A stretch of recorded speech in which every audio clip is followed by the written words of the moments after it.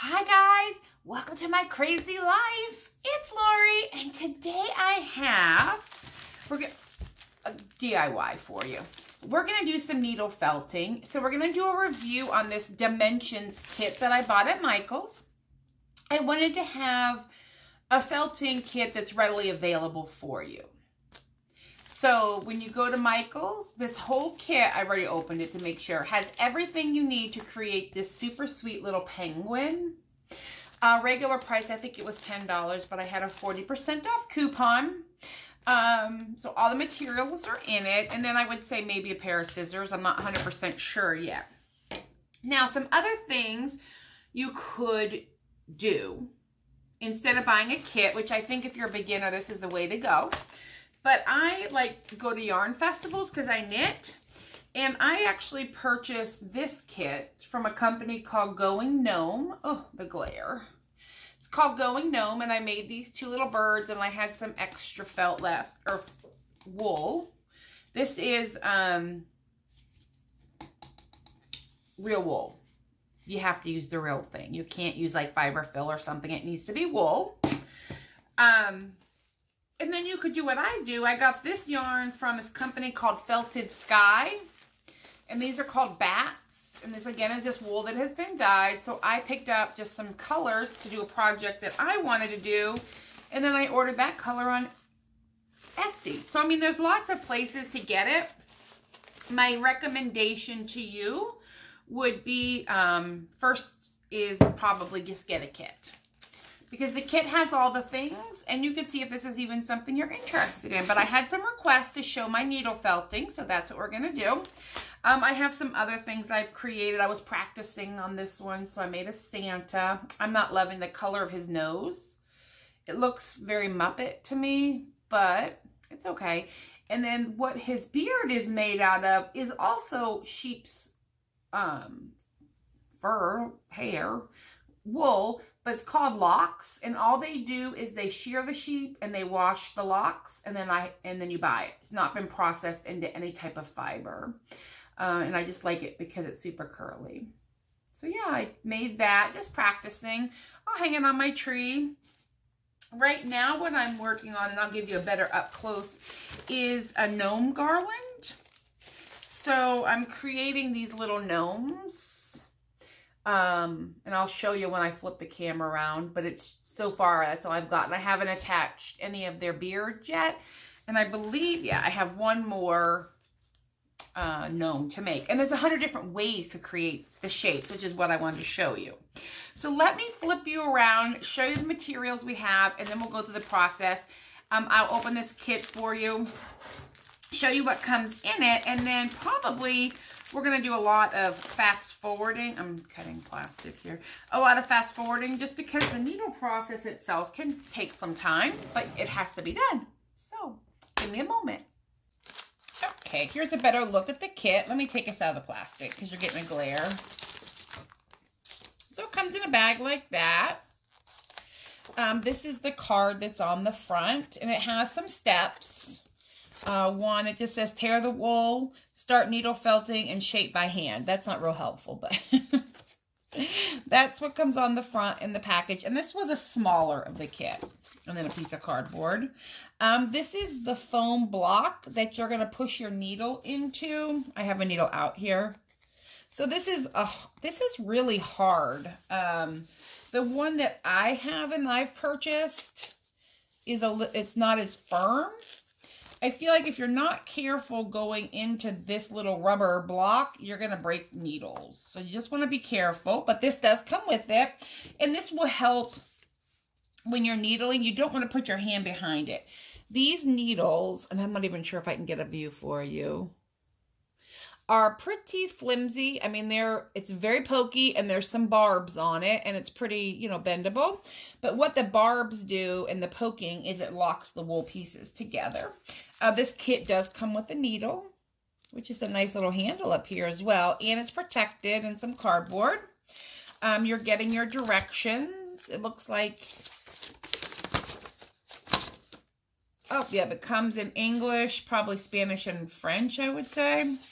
But it has your directions, and on the back, it has a little map that you can kind of lay your pieces over to make sure you're creating the right size.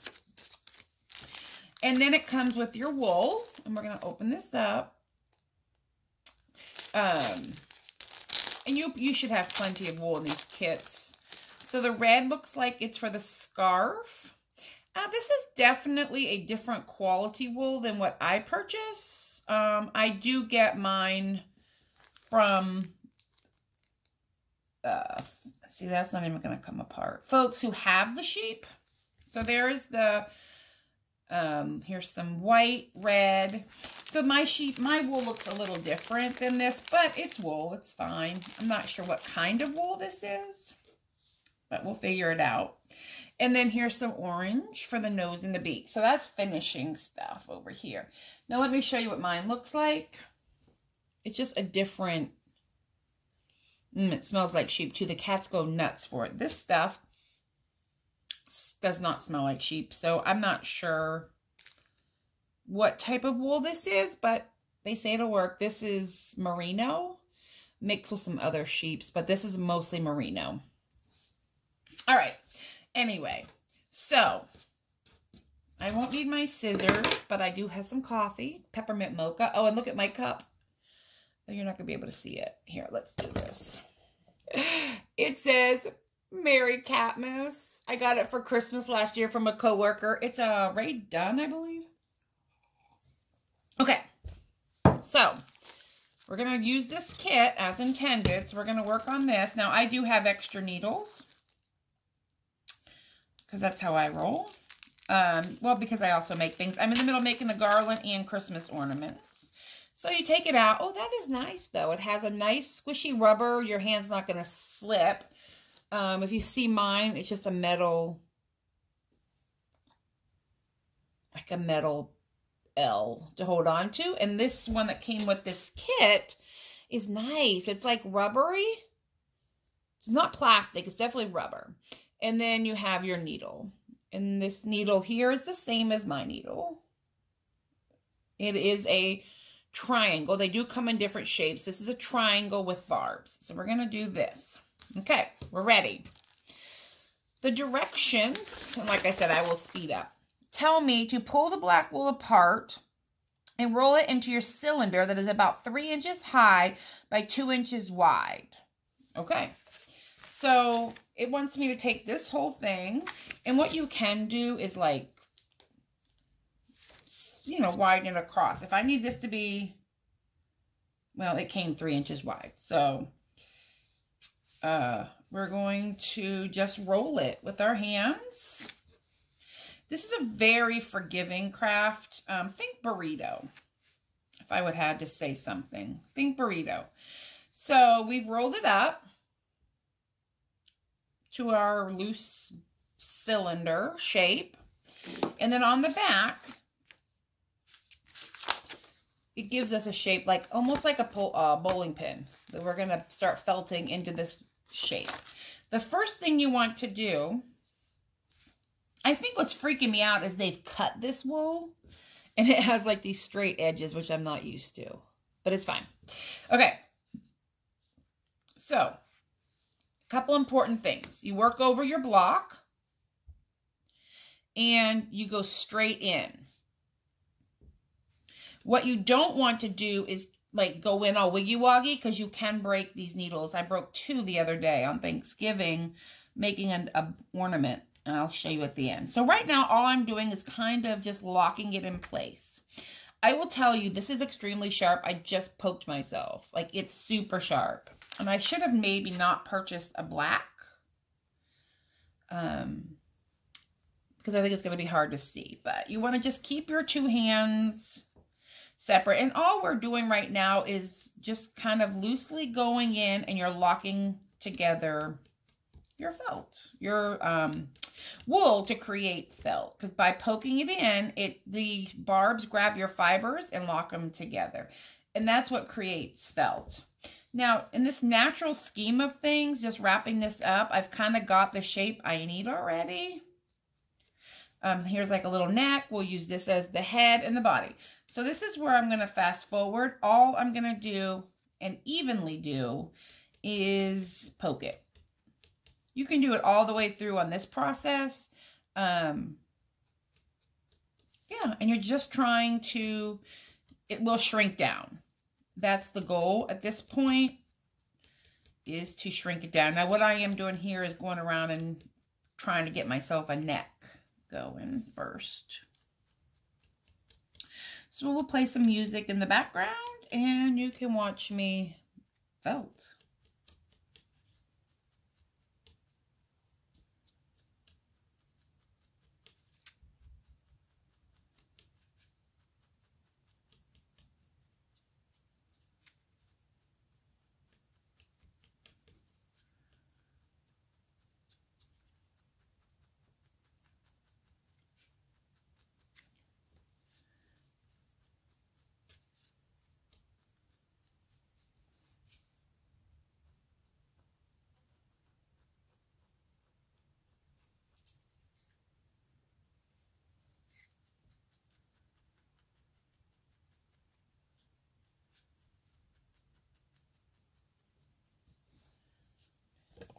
All right, I forgot to show you. I pulled off two little pieces before I wrapped it up.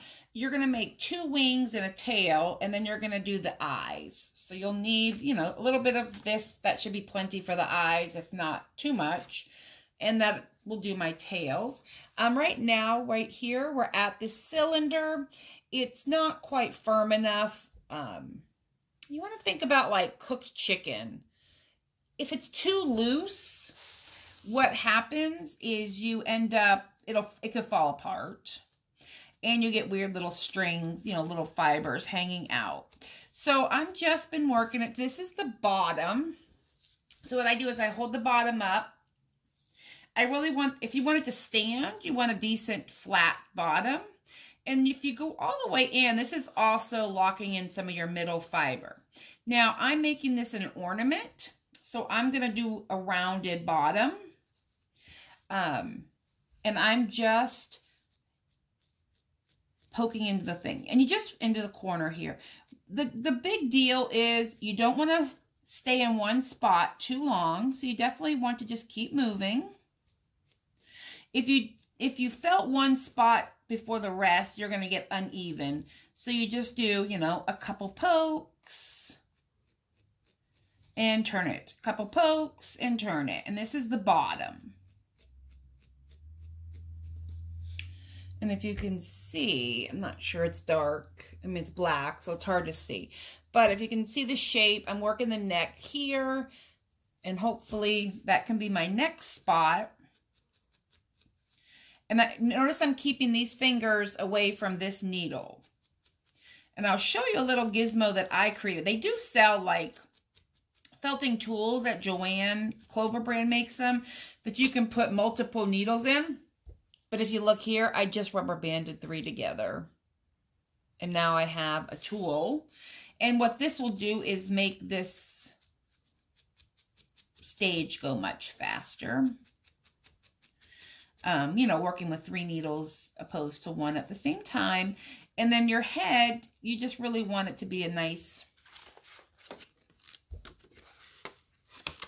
shape.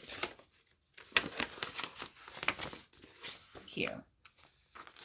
So that's the tail that we're going to go with. These are the eyes or the feet. Those are the feet. And I don't know where the, oh, the beak is here. And these are those side wings, but we're working this body shape right now. And if you see what I'm doing here, um, I'm taking my needle and I'm going in at an angle. I'm pushing the fibers that way to lock you know, you just don't want to like push it in and then try to manipulate the fiber with your needle. You want to use a pushing motion because what you'll end up doing is snapping the tip of that needle. Like I said, I lost two on Thanksgiving making an ornament and I'll show you the ornament that I made. So we're going to fast forward again. I mean, this, this is the time consuming part. You can also come, you know, this direction. You just want to watch your fingers like that will go right through. It's very sharp needle. It'll go right through. So I'm going to pause recording and I'm going to continue to just kind of create this bottom. And if you want, you can kind of rub it between your hands a little bit to just get the, the see the shape that you're working because you really want a neck because that's where you're going to put your scarf around his little neck. See how that looks now? So we're not there yet. It's still a little squishy. I really want to tighten it up just a little more, and then we're going to go and put his white belly on him. Okay, I think we're there. For my rendition anyway. Yours will look a little different. The one thing about this kit I don't like is how flyaway the fibers are. You get a lot of um, like little fibers. You could probably wet your hands and agitate it, but I think we're going to be okay. Now, just we're going to um, go in here for a second on this neck and just one more couple times give it some definition. And that's just going around and around. Remember, not in the same spot. And then up here in the head area, just kind of I'm watching your fingers shape it up a little bit. Okay, step three, stay up. Pull apart the white wool to make a thin, even layer. Needle it to the front of the penguin's body. Okay.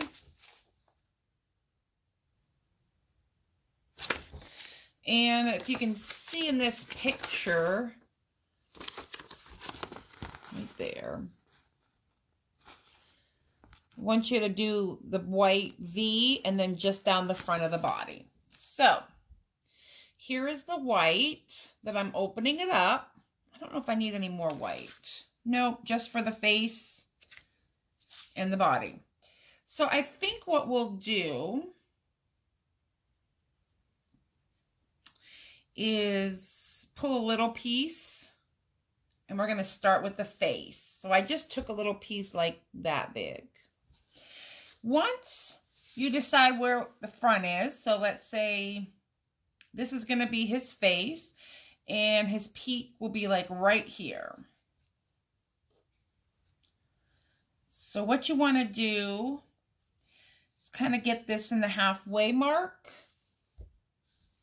And then I just go in and I'm going to tack down where I want that middle to be. So this is his peak. And by just pushing this in a little bit, it locks it in place. So look, it's in there now. I mean, I can pull it out, but we're not going to. And then you're going in not deep because your fingers are behind there. But you're just going to go in and lock it in place because you really want a defined widow's peak, I guess, is what we're calling it. And then we're going to come over here and kind of do the same thing.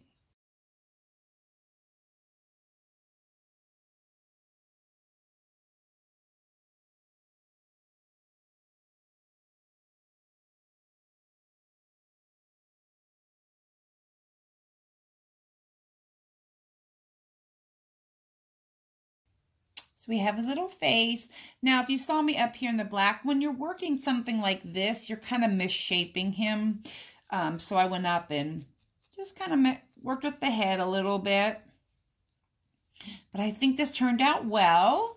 Um, you know, I could futz and fizzle with this for a very long time.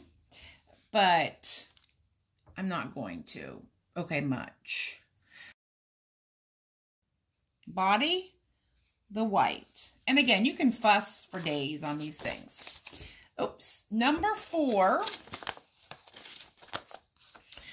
Uh, for a foot, roll orange wool between your fingers into a ball that's about three quarters of an inch in size. Needle until firm. Again, using the pattern on the back. Repeat to make the second foot using a smaller ball needle as a beak. All right, so here's our sizing. So we're going to move you, and we're going to separate this piece. Oops. We're going to separate this piece of orange into three pieces. Um, and the best I can tell you is a beak needs to be small. And then our foots here need to be maybe half of that. And then you're just wadding it up. This is the best I can describe it. It's hard to show with my fingers, but I'll show you in a second. You're wadding it up into an oval to make a foot. So you kind of got this weird little oval. And then again, you're watching your fingers. Go slow here. And you're just going to manipulate this wool into the shape of a foot.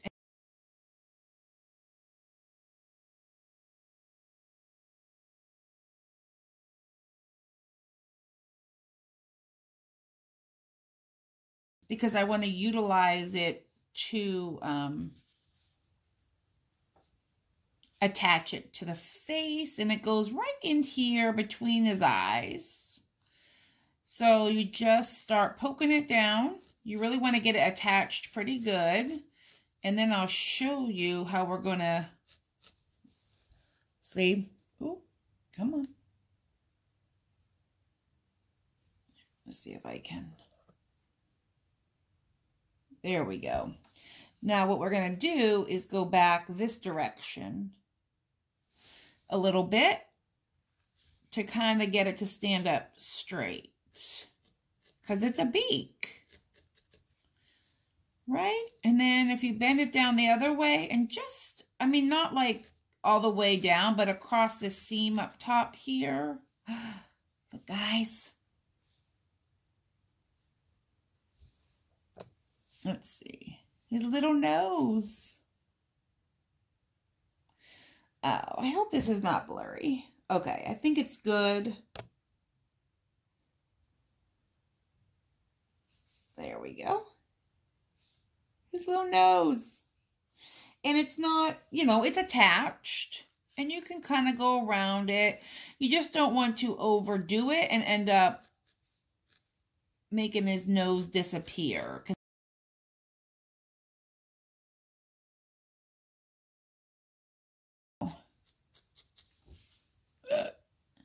His little feet are on. Isn't that adorable? And they're on there pretty darn good, guys. This one can use a little more attaching, but it's fine. Okay. He also does stand up. Like that. Now, I think it's time. Oh, they want us to do the eyes next. So with the eyes, you just take, I mean, like, I'm probably going to cut this again. What you should be able to do, it's called drafting. Oh, yeah, we can do it it just pulls apart. You see like that? You just want a little tiny bit, right? Determine where you want your eye. I just kind of attach them right here. Let's say you want your eye right here. Lock it in. It's way too much fiber. And then if you take your needle and just kind of poke it down in there, way too much fiber, guys.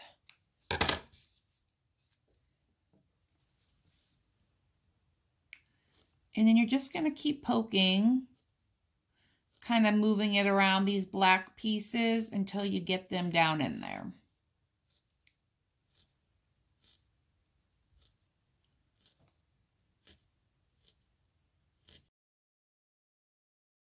little eyes.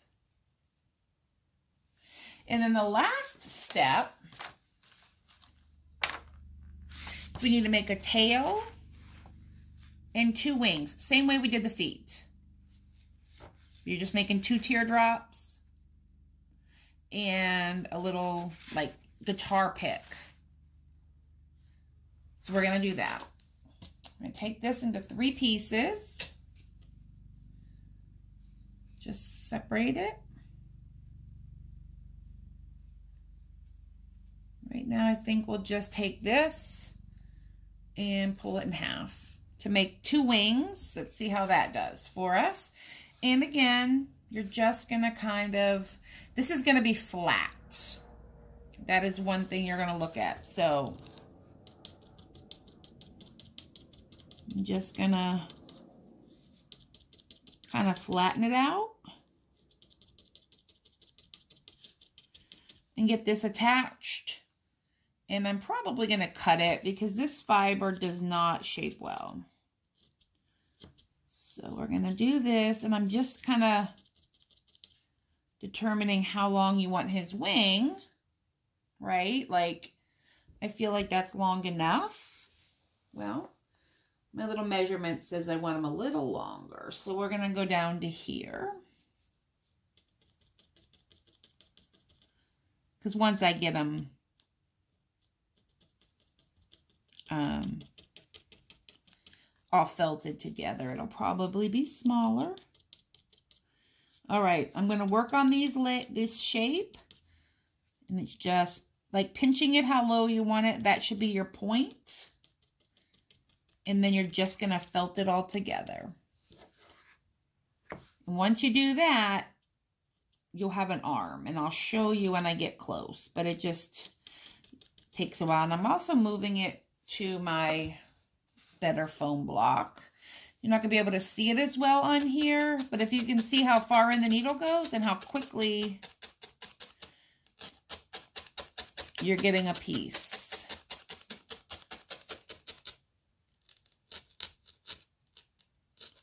All right, we'll be back. We have a tail.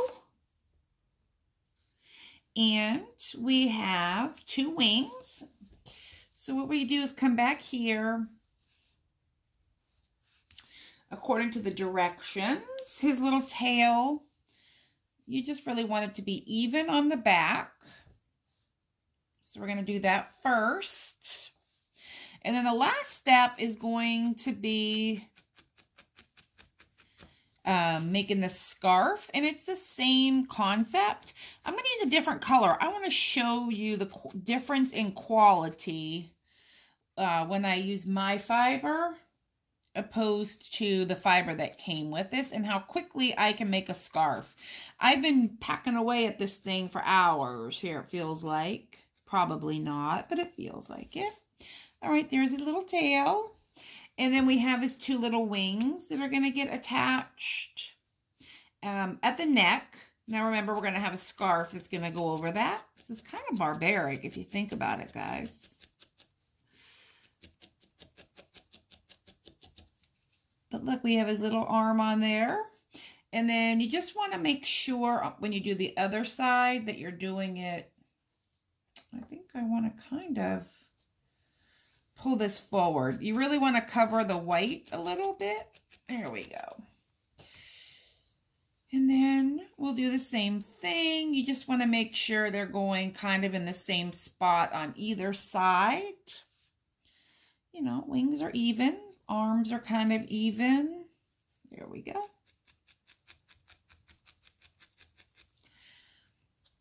And this is cute, but it's very, there's lots of little fibers. So I'm assuming, I don't know what kind of wool they're using, but it definitely is a long staple length. It's not really,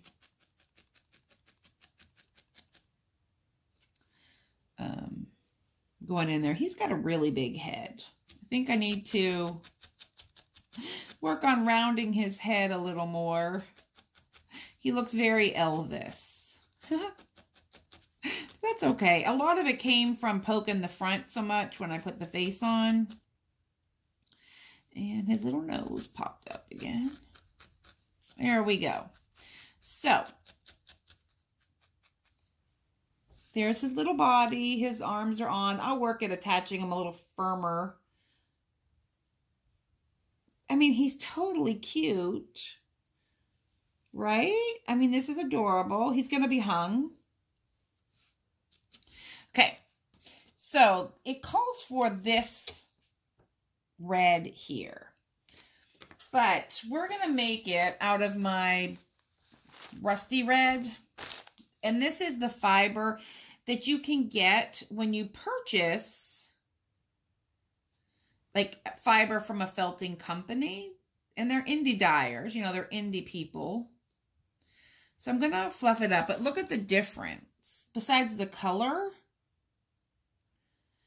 these don't really act like these.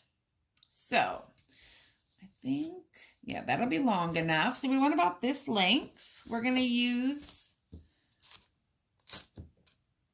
this. I'll even use the single needle that came with the kit.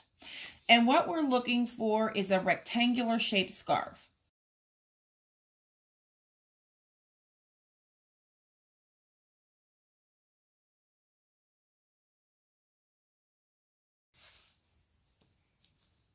Okay, it's longer than I need.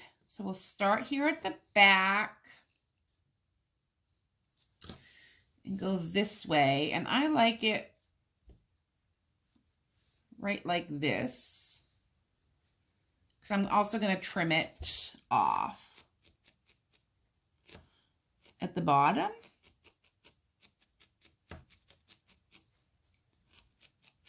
But you just want to attach it just like we've been doing with all the other stuff. And in the back, I'm not too concerned. You just want it to attach. And up here, if you saw that I um, pulled it apart and then reattached it. Super easy.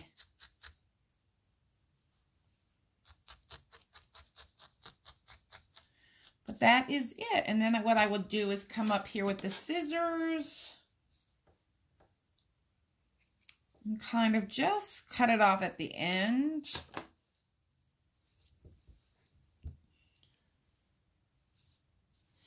And here's the picture. And here's our finished product. So I think we did pretty good, guys. Not bad. Um, I'll give you my thoughts here in a moment. I'm going to finish him up. And just give me one second. Okay, what are my thoughts on this kit? I think there are definitely some pros and cons. Obviously, the con is, to me, the fiber content that they're using. I don't honestly know what that fiber is. I'm going to fuss with this while we're talking. I don't know what kind of wool it is. It says it's 100% wool, so I'm going to give it that. Um, it just doesn't act like the, any of the wools that I've ever worked with. But we got a super cute little penguin. And what I'll do is hang him on my tree. So I think convenience, it's great. Um, you get enough of the material. This is what's left. I won't keep it, but this is what's left. So you get plenty of materials. The directions were pretty clear. Now, I'm somebody that knows what I'm doing. How clear are they? If you don't know what you're doing, you know, is a whole nother story. Um, what my recommend he has got a big old noggin here. My recommendation, honestly, would be to maybe look on Etsy for a kit. Um, their directions are a little more clear. And a lot of times the sellers will also have videos um, that you can watch. Now, if you want to buy one of these kits, they're very inexpensive and they're readily available. I would say buy one, but still watch some YouTube videos on how to do the felting process. I mean, I'm going to speed through this. You're not going to get a great um, lot of knowledge from me. I don't want to make this an hour-long video, but um, I would definitely say watch some videos. Again, I like this company Going Gnome. This kit came with everything and some really nice directions, and they also have videos out there.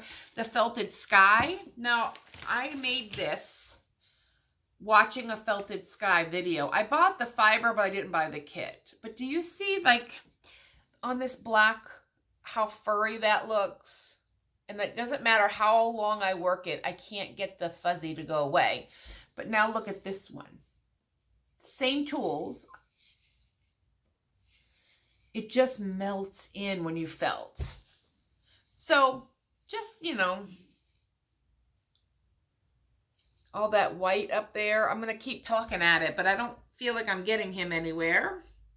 This guy here, I used the dryer ball and then some felt that I had. And it's all felted. And then these gnomes, the same thing. And you see you don't have all of those little furs sticking out. These are going to hang from their little hats. And I can show you these when they're done. They're not done yet. I've got one more to felt. I need to put some noses on them. And then we're going to add, this is a lock. This is how the locks come off of a sheep. They just, it's the sheep. They sheared the sheep. They washed it, cleaned these furs, you know, from the vegetation and stuff, and sent it to me. This has not been processed. Now, once, if they were to process it, they take, um, it looks like, I don't have it out here, but it looks like a dog brush with the bristles, and they, they have machines that do it, but they brush and brush and brush and brush it, and then they clean it, and that's what you get. Now, if it's gray, this has probably been treated like with some kind of a chemical to make it this yellow color because sheep, I mean, I guess some sheeps are this color, but it goes from this to this. That stuff, I don't know. Again, I don't know what the fiber content is and what kind of sheep they used. Um, this is mostly merino. I think it says it on here. It does not. It does not tell me what to choose. But anyway, that's my opinion on the Dimensions Felting Kit from Michaels. All right, guys, have a good one. I'll talk to you later.